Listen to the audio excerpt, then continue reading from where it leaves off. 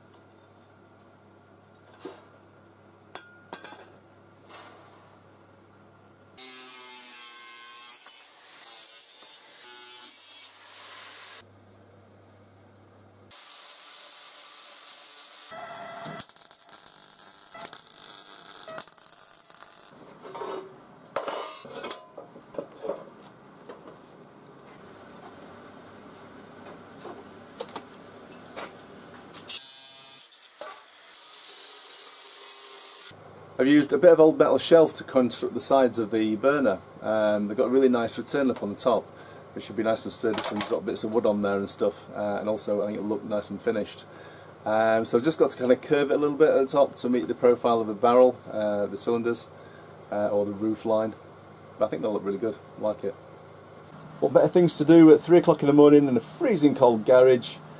Have a little doodle. So uh, I've got the windows to cut out now, um, some headlights and a VW badge to fabricate to, to weld on there. And somehow I'm going to do the trim. I'm not sure how I'm going to do that yet whether it be a, a piece of steel or uh, cut into it with a grinder. Not sure, not decided. But that's the vague plan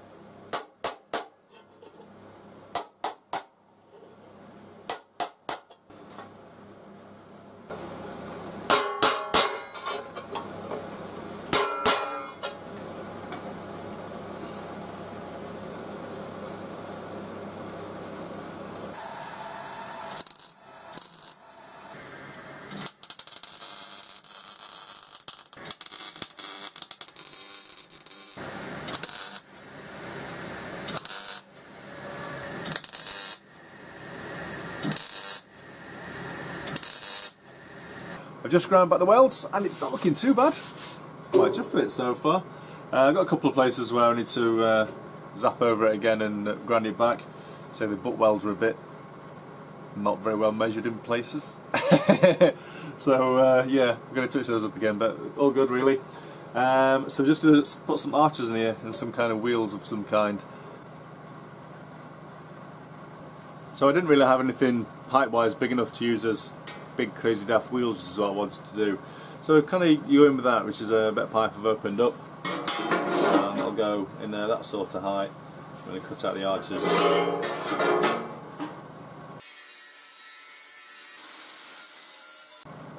Oh no, it's small accidental mistake. Splitty front. Oh, what a moron. That's better. I guess it makes it more authentic because there's not many splitters around that the rear arches welded up. Got a full size arch on the front and uh, half arch on the back.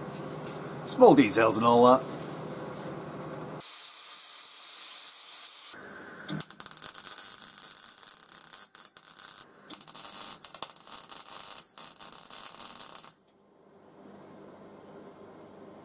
We got some wheels! Oh yeah!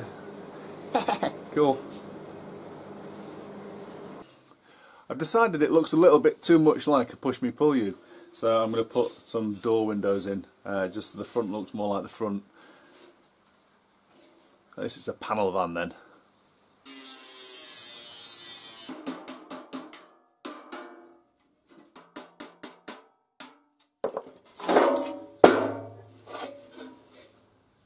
That's better, definitely better.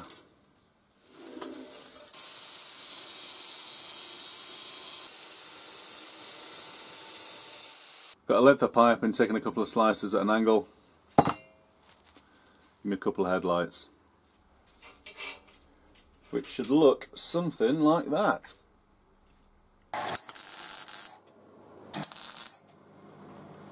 Awesome, really happy with that. Just got to do the VW badge now. So to make the badge, I just basically took a slice off the pipe to make a little ring, and then I just freehanded uh, have a bit of sheet, the, the VW bit. It's actually quite tricky getting the VW bit right. I a couple of attempts to get that even close. But uh, I think it'll do. That was a tricky little weld.